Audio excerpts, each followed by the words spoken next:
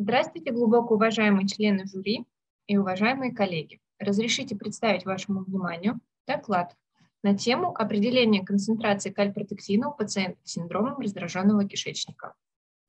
Распространенность СРК среди населения в мире более 10-13%, где синдром раздраженного кишечника является хроническим функциональным заболеванием желудочно-кишечного тракта с нарушением моторики – а также всасывательной функции и проницаемости кишечника. Его клинические симптомы ухудшают качество жизни пациента в любом возрасте, поэтому очень важно своевременно диагностировать данное заболевание. Исследования последних лет подтверждают увеличение количества заболеваний кишечника органической и функциональной природы. Существуют методы неинвазивной диагностики, позволяющие определять биомаркеры в например, фекальный кальпротектин. Кальпротектин выделяется скалом при повреждении слизистой оболочки кишечника и обнаруживается даже в незначительных количествах фекалиях. При воспалительных заболеваниях уровень кальпротектина повышается до нескольких тысяч по сравнению с уровнем у здоровых людей. Этот метод используется для дифференцирования органических заболеваний с воспалительной инфильтрацией от функциональных заболеваний кишечника. Цель данного исследования – это оценить информативность неинвазивного теста определения кальпротектина в фекалиях в качестве дифференциальной диагностики органических и функциональных заболеваний кишечника.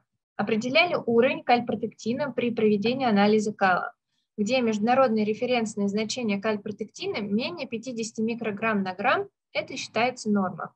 Но в лаборатории медицинского центра, где проводилось исследование, нормативы кальпротектина такие. Норма менее 80 микрограмм на грамм.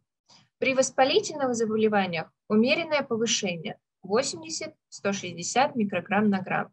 При подозрении на онкологическое заболевание выраженное повышение более 160 микрограмм на грамм. В ходе статистического исследования было проанализировано амбулаторные карты 31 пациента, которые наблюдались у гастроэнтеролога с предварительным диагнозом СРК воспалительное заболевание кишечника под вопросом. На слайде представлены результаты данного исследования, где у 21 человека показатели в пределах нормы, где результаты колоноскопии подтвердили полное отсутствие изменений в кишечнике.